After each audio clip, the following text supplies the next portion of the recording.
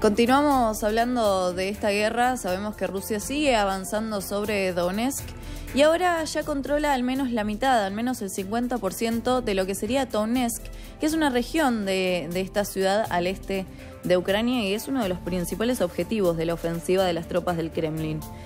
Esto, según se desprende de unas declaraciones sobre la situación en el municipio del jefe de su administración militar. Entre el 40 y el 50% de la ciudad está bajo control de las Fuerzas Armadas de Ucrania. El resto del territorio ha sido capturado por el enemigo, dijo. Este portavoz ucraniano agregó que un total de 1.150 civiles permanecen en Toresk, pese a los esfuerzos de las autoridades por evacuar a toda la población de esta zona de combates.